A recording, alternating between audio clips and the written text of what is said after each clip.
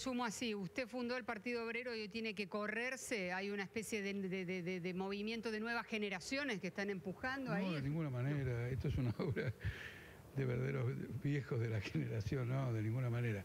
Mire, no me voy a ir del Partido Obrero, este, defiendo el Partido Obrero, participaré en la campaña electoral, eh, simplemente eh, rechazamos completamente, porque es antiestatutario, infundado y todo lo demás, cualquier medida expulsiva de militantes o dirigentes que en este momento están discutiendo problemas políticos del país que, con un enfoque diferente a la, dirección o a la fracción oficial.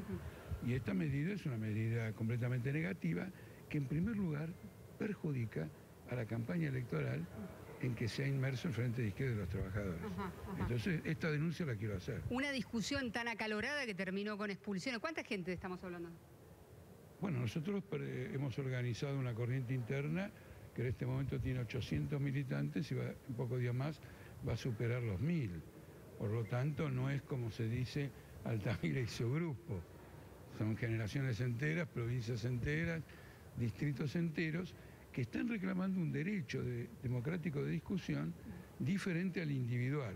Significa participar de todos los eventos eh, del partido en materia de discusión para que además de la fracción oficial se escuche una posición diferente. Y esto debería ocurrir normalmente sin afectar la campaña electoral. Va, a estar el PO por un lado y otra facción con otro nombre. De ninguna, manera, porque nosotros apoyamos la lista del Frente de Izquierda de los Trabajadores. Pero para la opinión pública, este, enterarse de que este partido expulsa gente. En el momento en que proclama una voluntad de unidad y en el momento en que tiene, llama a, la ciudadanía, votemos al frente de izquierda, es dañino y es perjudicial.